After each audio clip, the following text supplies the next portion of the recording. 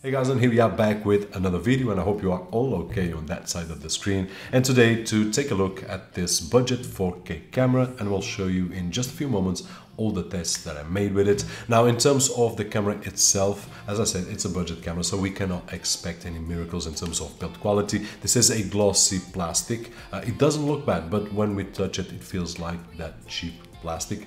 Nothing wrong with it, but just say that. In terms of accessories, it comes with a few interesting accessories, being the most interesting in my opinion, probably the external microphone, which I will share with you the results in just a few moments. And when we have an external microphone, it means that we have a microphone input, which gives us the freedom. If we don't want to use that one, we can use another one. And we will talk about that in just a few moments as well. We also have a wide angle lens and a pouch, a second battery. And regarding the battery, each one of them has 2500 milliamp hours and this camera is really battery efficient. I imagine that the processor here doesn't push too much of the battery because it lasts for a lot of time. So this is a good thing. When we look at the navigation in terms of the buttons and by the way the camera when we turn it on makes this noise and it will automatically turn on when we flip the screen. But as I was saying in terms of buttons we will find the menu button uh, also a play button right over here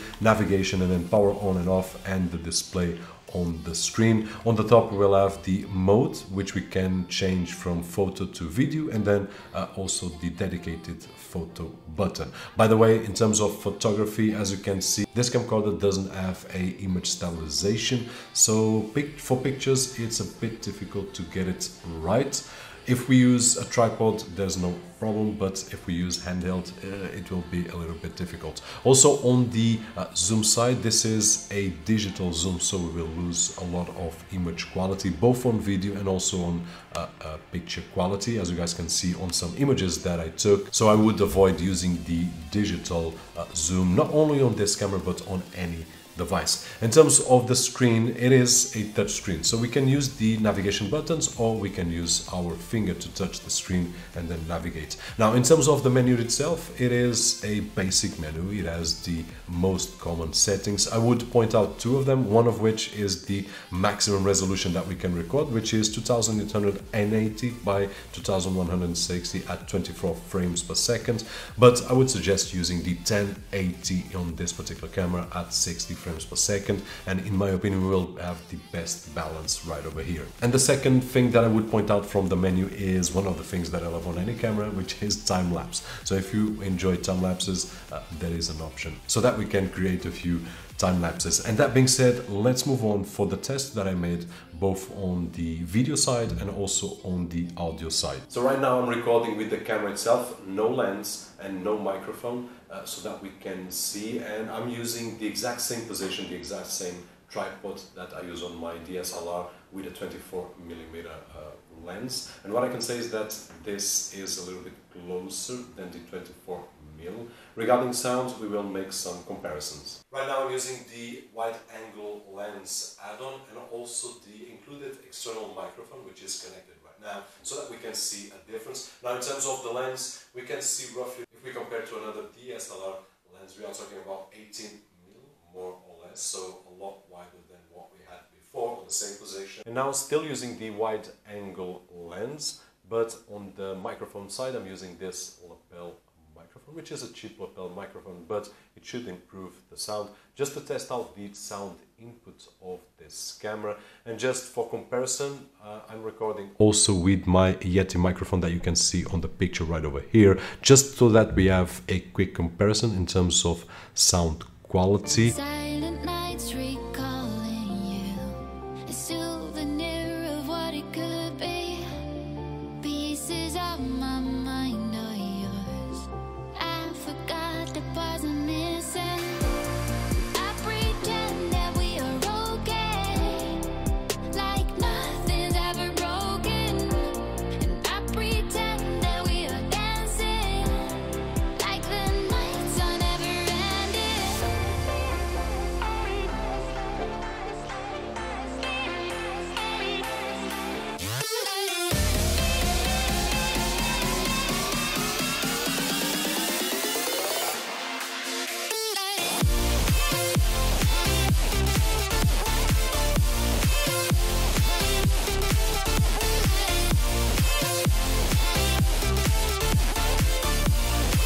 In conclusion, guys, in my opinion, the image is not bad in one scenario, which is when we are further away from the object.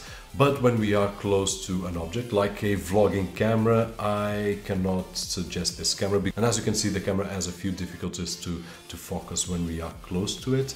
Uh, it looks like it focuses on the background and not on our face. Obviously, it doesn't have face detection. On the other hand, if we are doing something on our holidays, on our day-to-day -day usage of a camcorder, because not everyone needs to point a camera at, our, at his face, uh, we can just uh, use it without any issues. I did record the landscapes and I did record a few other things and I have no issues in recommending this camera if we want to use it for holidays and so on and so forth. One more thing that I did really enjoy is the microphone input which is really useful especially if we use a microphone such as lapel microphone which will give us a lot more quality. And one more thing that I did enjoy is that we have the option to use a SD card plus a micro SD card. So we have two uh, options right over here for storage. Now things that I did like the less in this particular case that we don't have an image stabilization right over here and that will make us a tough operation if we don't have a tripod and if we shake a lot. If we don't shake then we will go by but if we shake a lot then it's a bit more difficult. And that's about it guys. Hopefully this video was helpful in some way and if it was don't forget that usual thumbs up.